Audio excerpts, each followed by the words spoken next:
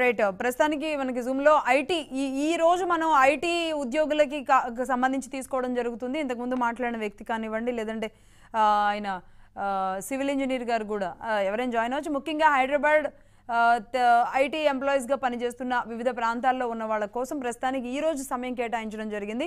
అలాగే రేపు ఇదే సమయానికి రైతుల కోసం వ్యవసాయం వ్యవసాయం అలాగే రైతులు వాళ్ళ రైతులకు సంబంధించి మరొక జూమ్ లింక్ ఇస్తాం. ప్రస్తుతానికైతే ఇప్పుడు లావణ్య గారు ఉన్నారు ఐటీ ఎంప్లాయ్. లావణ్య గారు. నమస్తే అండి చెప్పండి. యా యాక్చువల్గా నేను లాస్ట్ సాటర్డే నుంచి మనం చూస్తున్న న్యూస్ కంప్లీట్గా I just wanted to talk about few points okay so నేను టూ థౌసండ్ సిక్స్ నుంచి హైదరాబాద్లో ఉన్నాను. IT employee I join in you know about Satyam computers right so I join Satyam okay so you know like two thousand సిక్స్లో ఒక జాబ్ని సంపాదించుకోవడం అనేది IT ఇండస్ట్రీలో it's a nightmare okay so నేను యాక్చువల్గా to be frank like I'm from the same area where Nara Chandrababu Naidu garu okay Okay, I'm Chittoor. Just Chittoor Chittoor district and just beside Naravaripalli okay. So యాక్చువల్గా నేను నా childhood నుంచి చంద్రబాబు నాయుడు గారిని చూస్తున్నాను. Hmm. Okay. But Hmm. Till now నేను I never met him okay. But ఆయన అభిమాని. Okay. Hmm. So hard core fan for Chandrababu Naidu garu. Okay. So నేను టూ థౌసండ్ సిక్స్లో ఐటీ ఇండస్ట్రీలోకి వచ్చాను అంటే దానికి కారణం చంద్రబాబు నాయుడు గారు అని చెప్పి నేను గర్వంగా చెప్పగలను. ఎందుకు అంటే కనుక టూ థౌసండ్ ఫోర్లో ఆ, రాజశేఖర్ రెడ్డి గారు వచ్చారు రూలింగ్లోకి.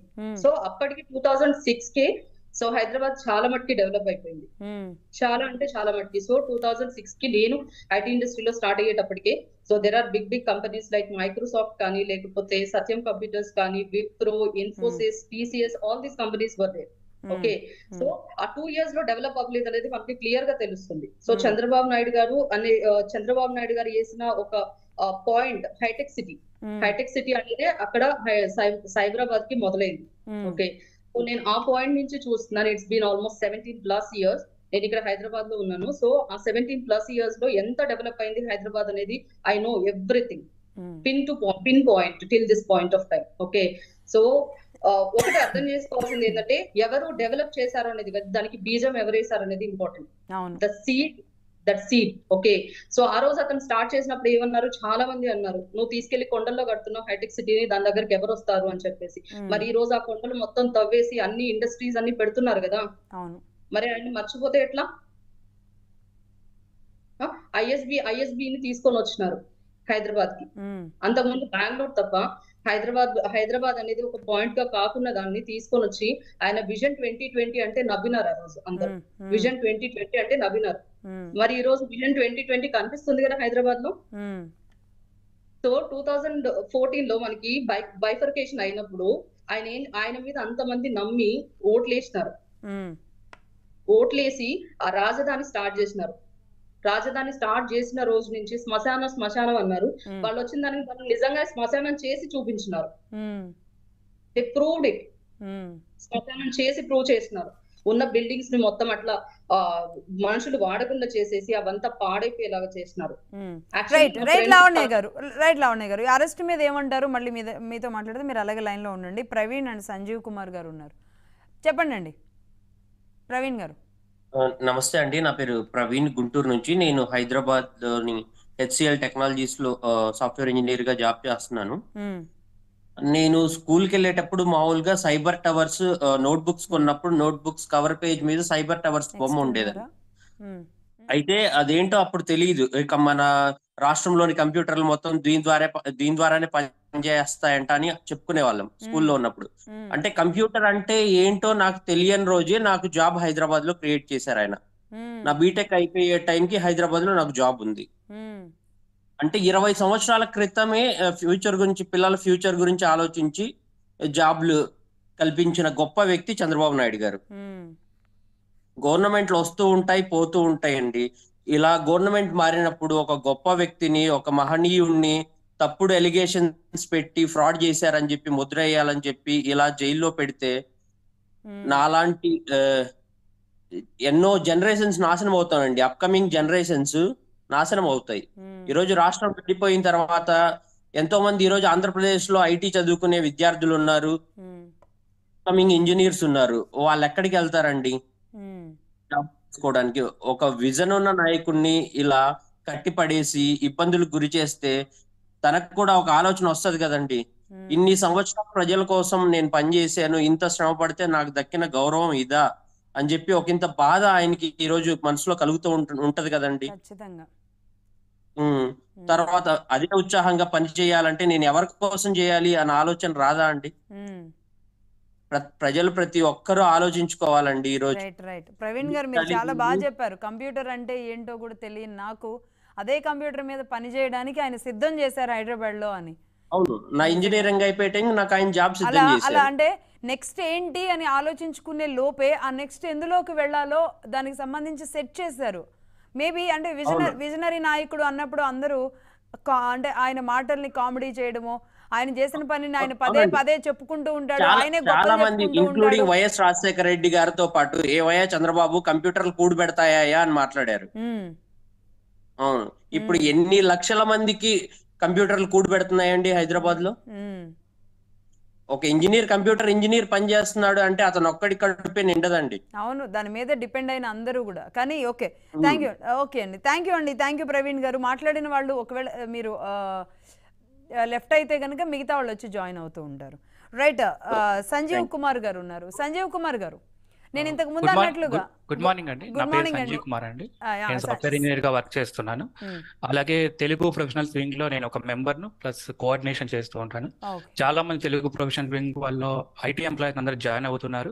అందులో వాళ్ళకి ఏదైనా ఉన్నా కానీ వాళ్ళకి సపోర్ట్ చేయడానికి మేము ఉంటున్నాం. ఉమ్, చంద్రబాబు నాయుడు గారు యాక్చువల్గా గురించి చెప్పాలంటే ఆ రోజు న్యూస్ విన్న తర్వాత చాలా బాధ కలిగిందండి. యాక్చువల్గా నేను వచ్చింది కడప డిస్టిక్ నుంచి అండి. నేను ఒక తెలుగు మీడియం స్టూడెంట్ యాక్చువల్గా. తెలుగు మీడియం స్టూడెంట్స్ ఉన్నప్పుడు యాక్చువల్గా ఐటీలోకి ఉంటుందా ప్రవేశం అని అనుకునే రోజుల్లో యాక్చువల్గా మాకు ఇంకో జాబ్స్ యాక్చువల్గా డిగ్రీ చదివిన వాళ్ళకి జాబ్స్ ఉండేవి కాదండి అప్పుడు. పోతే- కనుక పీజీ చేయాలి చిన్న చిన్న ప్రైవేట్ స్కూళ్ళల్లో జాబ్ చేసుకోవాలి. వాళ్ళు ఇచ్చే ఐదు వందలు ఆరు వందలతో బతకాలి. లేదా అంటే కనుక గవర్నమెంట్ జాబ్స్ వచ్చేటి కాదు. అలాంటి సమయంలో చంద్రబాబు నాయుడు క్రియేట్ చేసినటువంటి ఇటువంటి ఐటీ ఫీల్డ్ అనేది మా అందరికీ ఎంతో కో- ఉపయోగపడిందండి. వచ్చి ఐటీ కోర్సులు నేర్చుకునేసి హైదరాబాద్కి వచ్చేసి ఐటీ కోర్సు నేర్చుకొని ఎంసీఏ బీటెక్లు చేసేసి తర్వాత ఏదో ఒక దాంట్లో జాయిన్ అయిపోయేసి అక్కడి నుంచి వన్ బై వన్ స్టెప్ ఎదుగుతూ మేము యాక్చువల్గా పిల్లప్పుడు యాక్చువల్గా ఇంట్లో నుంచి ఒక విమానం చూడాలంటే మిద్దె పైకి ఎక్కి విమానం చూసేవాళ్ళం. అసలు మేము అసలు విమానం ఎక్కుతామా అనుకునేవాళ్ళం. చూడడానికే మాకు ఆనందంగా ఉండేది. అలాంటిది మేము ఈ రోజు చంద్రబాబు నాయుడు పెట్టినట్టు ఇటువంటి ఎన్నో సంస్థల వల్ల ఆయన ద్వారా వచ్చిన సంస్థల్లో జాబ్ చేస్తూ మేము ఈ రోజు ఇక్కడ నుంచి అమెరికా యూకే వెళ్ళి జాబ్ చేసి ఉమ్, అక్కడ నుంచి డబ్బులు పంపించే ఇక్కడ మా వాళ్ళని గ్రో కావడానికి కానీ మా రిలేటివ్స్ కానీ వాళ్ళందరికి సపోర్ట్ చేయగలుగుతున్నాం. ఒకరికి ఒకరు సపోర్ట్ చేసుకోగలుగుతాం సైకిల్ కొనడమే కష్టంగా ఉన్నటువంటి మా father కు ఈ రోజు మనం కార్లలో తిరుగుతున్నాం. ఒక్కసారి ఆలోచించండి. 90s లో పుట్టిన వాళ్ళకి చాలా మందికి చంద్రబాబు నాయుడు గారు చెప్పిన గ్రోత్ గురించి తెలియదండి ఆయన చెప్తే ఏదో ఆయన ఏదో పోతే చెప్తున్నాడు అనుకుంటారు. కాదండి. ఒక్కసారి 90s లో పుట్టిన వాళ్ళకు చాలా మందికి అర్థం కావట్లేదు. అందుకే యూత్ చాలా మంది ఆయన చెప్తే కనుక ఆయన ఏదో చెప్తున్నాడు సో చెప్తున్నారు చాలా మంది ఫీల్ అవుతున్నారు. లేదండి. ఆయన విజన్ చాలా డిఫరెంట్గా ఉంటుంది. నేను ఆయనతో కలిసి వర్క్ చేశాను. యాక్చువల్గా సెక్రటరియట్లో నేను కొద్ది రోజులు పార్ట్ టైం గా వర్క్ చేశాను. ఆయన. బ్యాక్ అండ్ టీమ్లో వర్క్ చేశాను. ఆయన టాస్క్ ఇచ్చాడంటే కనుక టైం టు టైం టాస్క్ ఆయనకి ఇవ్వాలి. మనం ఇచ్చే ఇన్ఫర్మేషన్ అంత పర్ఫెక్ట్గా ఉండాలి. ఆయన ప్రతిదీ క్లియర్గా అబ్జర్వ్ చేస్తాడు. సో ఆయన వర్క్ ఆయన ప్రతి వర్క్ చేసిన అనుభవం ఉంది. ప్లస్ నేను ఇప్పుడు సాఫ్ట్వేర్ ఇంజనీర్గా వర్క్ చేస్తున్నాడు. ప్లస్ తెలుగు ప్రొఫెషనల్ టీమ్లో కూడా వర్క్ చేస్తున్నాం. ఆయన అరెస్ట్ చేయడం చాలా చాలా దారుణం అండి. ఒక్కసారి ఐటీ ఎంప్లాయీస్ ఒక్కసారి గమనించండి. ఆయన ఏదో చెప్తున్నాడు ఏదో అనుకోకండి. మన అందరికి గోరు ముద్దలు తినిపించినట్టు వ్యక్తి అండి ఆయన. ఆయన అహర్నిశలు ఆయన ఇండియాకు ఒక ఒక వ్యక్తి కాదండి. మన ఇండియాలో ఆయన ఒక వ్యక్తి ఒక పొలిటికల్ లీడర్ కానీ ఇండియాకు ఆయన ఒక బ్రాండ్ అండి. ఏదైనా మీరు ఎక్కడికైనా బయటకు వెళ్ళి చూడండి ఇండియా గురించి మాట్లాడితే ఫస్ట్ మాట్లాడే చంద్రబాబు నాయుడు గురించే మాట్లాడతారండి. మన ఇండియాలో ఈ రోజు ఇన్ని కంపెనీలు వస్తున్నాయి ఇప్పటికీ ఇన్ని కంపెనీలు రా వస్తున్నాయి అంటే main reason of Chandrababu Naidu అండి. ఎవరినంటే వాళ్ళు చెప్తే చాలా మంది పొలిటికల్ లీడర్లు వస్తుంటారు పోతుంటారు పార్టీలు వస్తుంటాయి పోతుంటాయి. కానీ చంద్రబాబు నాయుడు ఒక పార్టీకో ఒక కులానికో ఒక మతానికో సంబంధించిన వ్యక్తి కాదండి. ఆయన ఒక బ్రాండ్ చంద్రబాబు నాయుడు పేరు చెప్తేనే చాలా కంపెనీలు వచ్చినట్టు ఉన్నాయండి మీరు ఎక్కడికైనా వెళ్ళి అడగండి ఎక్కడ ఏ ఏ కంట్రీకైనా వెళ్ళండి ఫస్ట్ టెక్నాలజీ గురించి మాట్లాడితే ఫస్ట్ మాట్లాడితే చంద్రబాబు గురించి మాట్లాడితే మాట్లాడుతున్నాండి. ఆయన చదువుకున్న రోజుల్లో మేబీ కంప్యూటర్లు ఉంటాయి ఉండకపోవచ్చు. ఆయన ప్రస్తుతం చేసిన డిగ్రీలలో ఎందుకుండండి ఖచ్చితంగా ఉండవు. కానీ ఆయన తరువాత ఆయన విజన్ చూస్తే టెక్నాలజీలో ఇప్పుడు మామూలుగా మన కొద్ది మంచి గురించి చెప్తున్నారు. ఫస్ట్ బిల్ గేట్ గారిని చదివినప్పుడు ఆయన ఏదో హాఫ్ అన్ అవర్ టైం ఇవ్వడానికి చాలా ఇబ్బంది పడ్డాడు. కానీ తన ప్రెజెంటేషన్ తర్వాత టూ అవర్స్ కూర్చొని ప్రెజెంటేషన్ విన్నాడు అనేసి. పదిహేను నిమిషాలండి. పది నిమిషాలు ఏమో టైం ఇచ్చింది అంతే. ఇచ్చారంట. సో అలాంటి వ్యక్తికి తన ఎంత విజన్ లేకుంటే ఒక వ్యక్తికి ఇప్పుడు మనం ఈ రోజు ఇంతమంది ఉండి మన ఆఫీస్లో ఒక చిన్న ప్రెజెంటేషన్ ఇవ్వడానికి మన చాలా మంది భయ భయపడే వాళ్ళు ఉన్నారు. కానీ అలాంటిది ఒక వ్యక్తిని కూర్చోబెట్టుకొని నీకు టైం ఇచ్చేసి అంతగా చెప్పగలిగితే ఆయనలో ఎంత విజన్ ఉండాలండి? సో అలాంటి వ్యక్తిని మనం ఈ రోజు అనవసరంగా కక్షలు ఏవో మామూలుగా చిన్న చిన్న మామూలుగా ఇది ఎలా ఉంటుందంటే అత్తా కొడలు కొట్లాడుకుంటే కక్ష సాధించుకుంటారు అలా ఉందండి. ఇది Hmm. కరెక్ట్ కాదండి. ఒక వ్యక్తిని మనం అలా నిర్బంధించి. పెడితే మనం చాలా ప్రాబ్లమ్లో ఫేస్ చేస్తాం. సో ఒక Hmm. అలాంటి వ్యక్తిని మనం నిర్బంధించి పెడితే ఫ్యూచర్లో మన దేశానికి రావాల్సిన కంపెనీలు కానీ మన ఫ్యూచర్లో డెవలప్మెంట్ కావాల్సిన సంస్థలు కానీ చాలా వరకు ఆగిపోతాయి ఆలోచిస్తాయి. ఎందుకంటే అలాంటి వ్యక్తిని అరెస్ట్ చేసి పెడుతున్నారు మనం పోతే మనకెందుకు ఇబ్బందులు అని దిశా కంపెనీలు ఆలోచిస్తాయండి. మన పిల్లల భవిష్యత్తు అందుకు చాలా ఇబ్బందులు పడుతుంది.